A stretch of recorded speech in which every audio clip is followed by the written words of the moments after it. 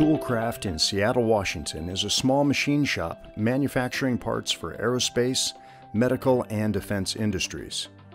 When a larger order prompted the company to run production 24 7 by adding a third shift, Toolcraft faced a challenge. You know, nobody wants to run on third shift around here, but trying to hire for it, is they're simply, when you put an ad out, you're not getting very many responses. With unemployment at 3%, we decided to look at automating. We decided to go with the collaborative robot. I like the idea of our machinists being able to work alongside the robot, and that was pretty appealing, not having a safety cage in the way as you do with the industrial robot. When selecting a robot for a CNC machine tending application, precision is always a very big factor. And when we heard about the new E-Series that was coming out, and heard that the repeatability of the UR5 specifically was down to 30 microns. We're very excited as that really competes in the same space as traditional industrial robots.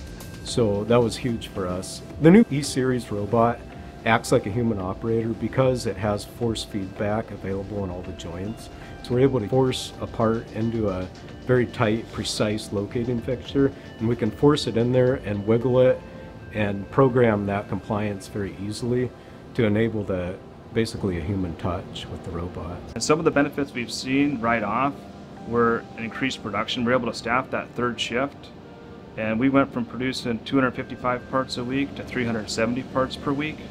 Along with that, we're able to finish our year's production seven weeks sooner, thus freeing up that machine to produce parts on other uh, jobs.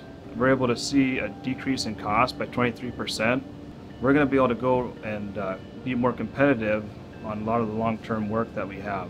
We chose a New Connect pneumatic gripper for this application, and a big factor in that was the fact that the New Connect gripper is UR Plus certified. That means it's certified to work with the Universal Robot right out of the box. We worked with an integrator. He got us going on the first job, and he worked with our manufacturing engineer, Brian, because Brian was able to work with Troy on the programming side one or two hours. And with that, he was able to jump in and take off with programming Universal Robots. Universal Robots has an academy that Brian went through. The UR Academy and the on-site training enabled Toolcraft to expand their cobot application with no external help adding a rinsing station to the cycle. So with the Universal Robot, it was neat to see how you can program offline. I'm thinking production's going down. We're going to be down there for six hours while he's programming, setting up.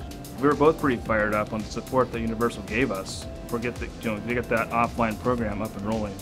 We have one successful installation under our belt, and where we're going to go in the future, I see us putting uh, installing one robot per year.